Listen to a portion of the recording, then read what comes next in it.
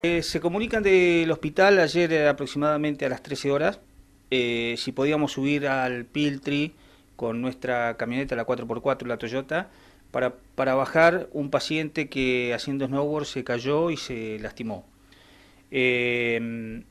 nosotros no teníamos cadena para subir sabiendo de que había mucho hielo, así que ellos estaban en las mismas condiciones, pero subieron con su Toyota, con la ambulancia, a, a la base del Piltrip hasta que el refugiero bajó, bajó al paciente hasta, hasta la base. Nosotros subimos igual con, nuestra Toyota y llevamos un juego de cadena para la ambulancia porque no podía bajar por el hielo y la nieve, que estaba el camino muy, muy congelado. Eh, y bueno, para poder bajar este paciente lo más rápido posible.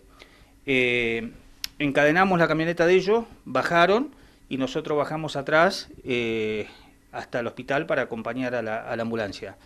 Em, no sé el estado de este muchacho cómo está hoy porque bueno, eh, perdí contacto, pero tuvimos solas intervención ayer durante todo el día. Una situación que no es muy común esto de asistir a un herido allí en, el Cerro Pitiquitrón.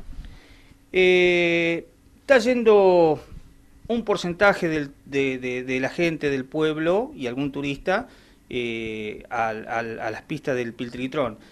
Este señor estaba con su familia porque eh, bajamos a su señora y a sus dos hijos. Eh, estaban pasando el día, disfrutando desde el fin de semana, y bueno, con la mala suerte que se cayó, pero sí, eh, hay gente, no tanto como el perito, pero, pero hay un, un fluido de gente bastante importante también.